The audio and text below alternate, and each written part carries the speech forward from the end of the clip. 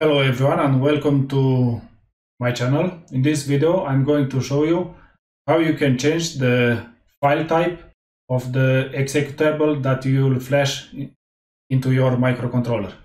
By default the Cube IDE it will generate for you a binary file. So this binary file it's uh, an executable file that you will flash inside your memory.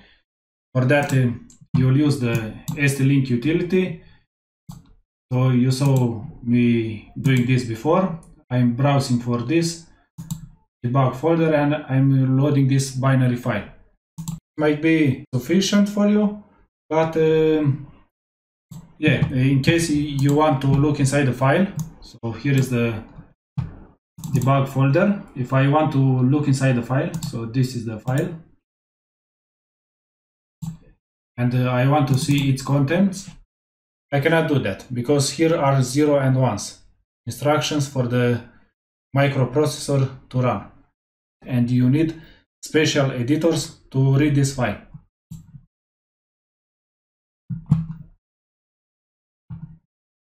But let's say it is the case you want to see the file in you want to have the file in an ASCII format, for example. So you have two options. You can either generate the executable as hex or as Motorola SREC. So let's see them both.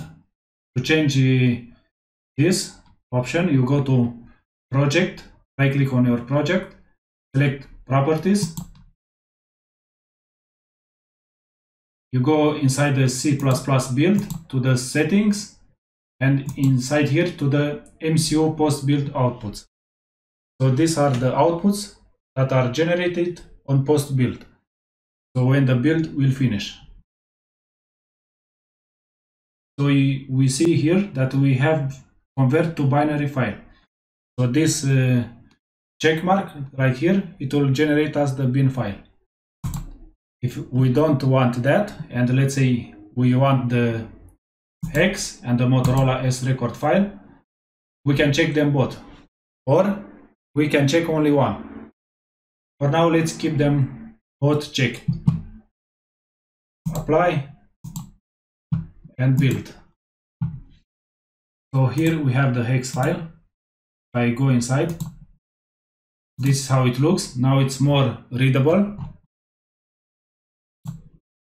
And this is the srec file. So this also is more readable. And if you know assembler and you know it very well, you can extract what instructions were written inside your flash. So, for example, here are the instructions for the first part of your memory. So I am copying this right here. I am pasting it here and I will copy this also from the SREC.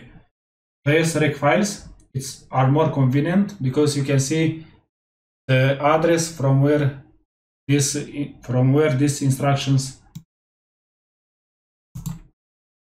are executed. So as you can see, both of them are the same because in the end the machine code that is written to the microcontroller is the same either you use the hex file, the srec file, or the bin file. But uh, with the hex and the srec, you can uh, yeah, see some uh, potential breaches inside your code. So here at the end of the line, I see Notepad++, it's uh, putting me this in green. So these are the checksums. So this is it. This is the first part that I wanted to show you how to change the type of the file that is generated. Another uh, nice part inside this cube IDE, you can see that the flash starts from this address. So this address,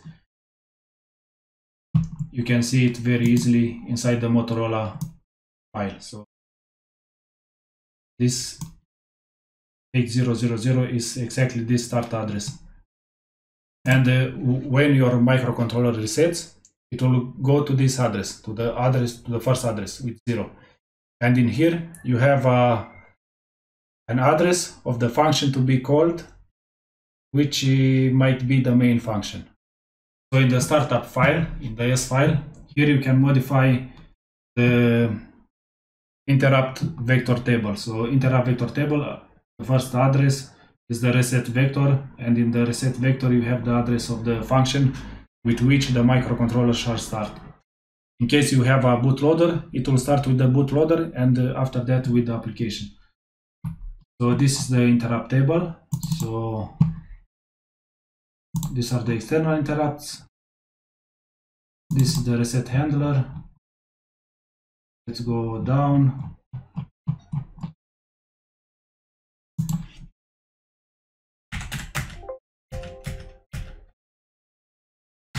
So here it is the call of the main. So it's, it is in the reset handler. It will uh, initialize the stack pointer. It will do some things right here.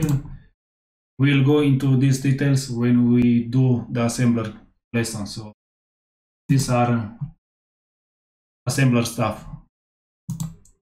And here is where the main function is called. So this is the entry point of your application. So if you don't want to have this main, you want to have it with a different name. Maybe let's say you want to have it with you know my function. Can have it with my function. No one is complaining about this but uh, you have to specify this function. So this will not be int main it will be int my function we'll build again the code.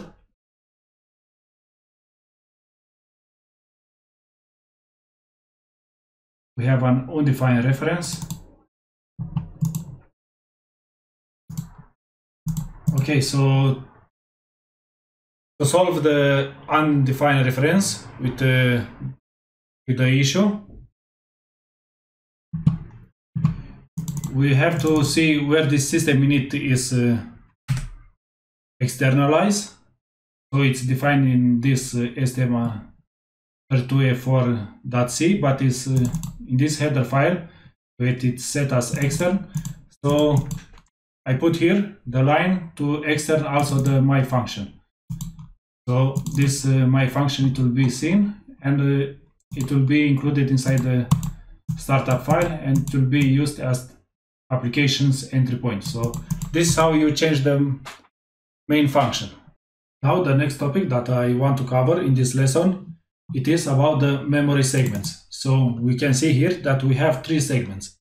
One named text, one data, and one BSS. And the next two names that we are seeing here, it is the space that all of these three segments are occupying inside our microcontroller. So we have one time the value in decimal and one time the value in hex. Now let's uh, concentrate on the text segment. First, let's uh, speak a little about the text segment. The text segment uh, will uh, end up typically inside the ROM. In our case, it is the flash memory. And it has inside, inside it the code that we are writing inside our source files. For example, these two functions, they will be converted into machine code. So this is what goes inside the text segment. And it will also contain constant data. So the constant data can be variables that have the const before them, or it can be the initialization of a global variable. So that's also a constant data. So the value itself, it's a constant data. So let's see. So here I have a new Notepad++ plus page, and here is the size. So this is the default size. Let me put it like this. Not default, actual size.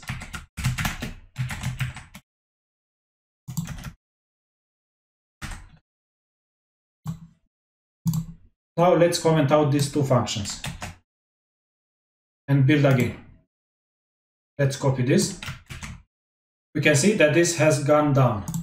This remains the same, this remains the same this will go down, this also. So the text segment has decreased. because we are having less machine code generated for this uh, source file. Now, I say that it also contains constant data. Let's make this uh, char hello constant, const, and uh, let's make it uh, just hello so we can so we can count the characters. We have one, two, three, four, five, six, and uh, at the end of the line we have a new character. So this is of an array of uh, length 7. So let's save. So I think I just uh, to have the correct size, I will build again.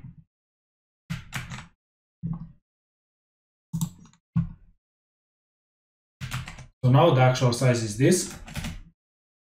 And let's see after I make this const.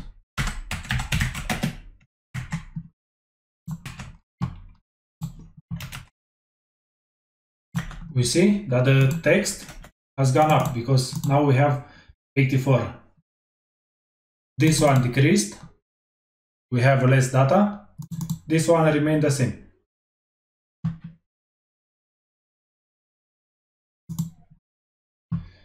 So this is the text segment. Now let's go to the data segment. The data segment is used for initialized data. So here we have the global variables, like uh, for example, let's create one. Unsigned integer, let's make one of 32 bits. So it will have a size of 4 bytes. So let's say my var and I say that the data segment is used for initialized data. So we need to initialize this. Let's give it a 5 and uh, to not be being optimized out, let's use it somewhere in here. This. And let's build. I'm copying. So I'm copying this right here. So now we have uh, additional code generated inside our text, but also it contains the value with which my var is initialized. And here it is the data and here it is the BSS. So in the end, the data segment will be also a part of the RAM memory, but only 4 bytes and the rest inside the text. So this is uh, convenient.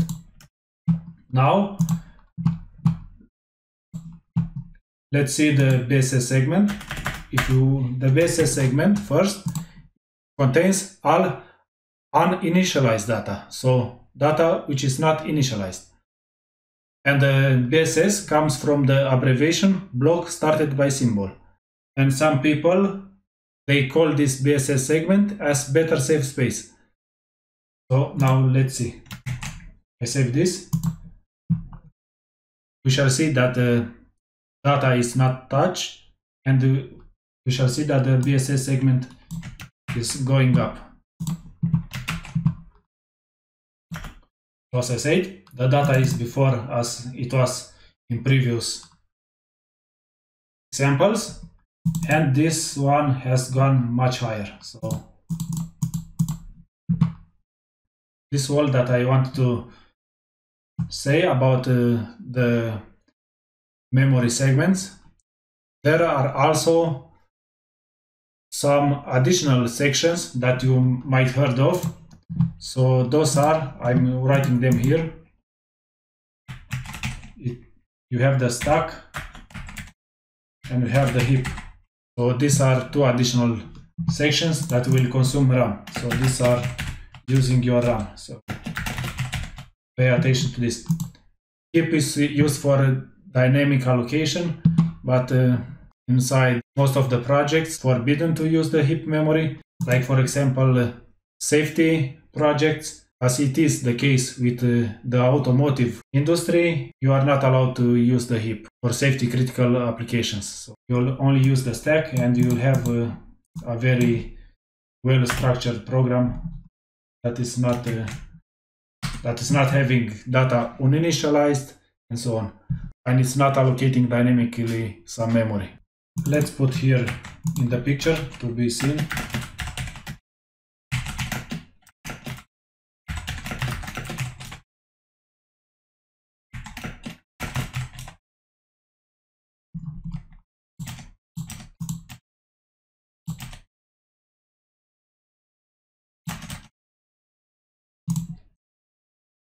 Here you have it. So thank you very much for your attention.